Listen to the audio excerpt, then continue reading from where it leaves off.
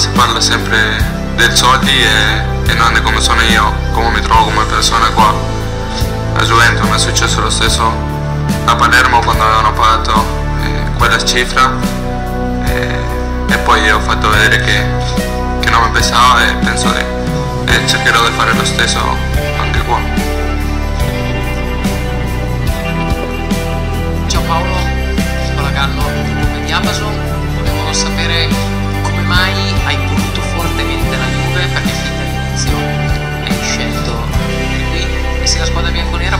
anche la tua porta per raggiungere la nazionale e se per caso temi di non poter giocare con Messi, un'altra grande icona per voi argentini dovesse prendersi una pausa.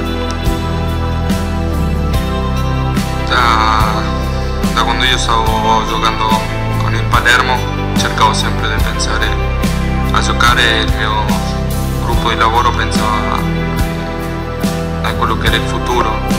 Il giorno che mi hanno detto che, che la Juventus eh, mi voleva, io ho fatto la mia decisione e l'ho detto subito che, che voleva venire qua per tanti motivi.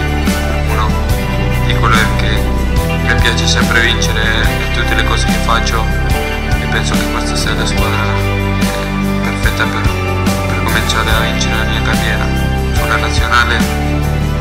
Credo che tutti abbiamo il sogno di arrivare. Penso che Messi continuerà a giocare nella nazionale perché giocatore più forte al mondo deve essere per forza lì.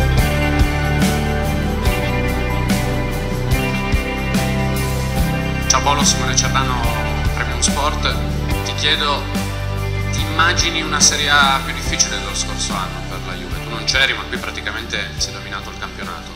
Eh, credi che sia un campionato più equilibrato e credi che l'impresa sfiorata dello scorso anno in Champions sia ripetibile, cioè che la Juve possa andare ancora così lontano in? Sì, penso che la Juve l'anno scorso ha fatto un anno incredibile.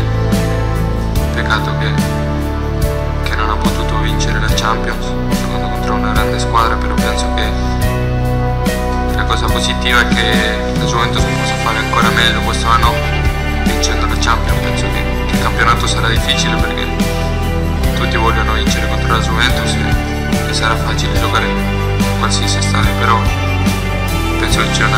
rosa molto forte che possiamo vincere e possa vincere e arrivare dove è arrivato l'anno scorso. Scusa una curiosità, se hai un soprannome calcistico a cui sei legato particolarmente. Sì, sì, e quando ho cominciato a giocare in Argentina un giornalista, un giornalista di là mi ha detto la Joya, che è il gioiello. Detto, Quindi è il primo soprannome quello è il primo che mi hanno, che mi hanno detto. E qua quando sono arrivato a Palermo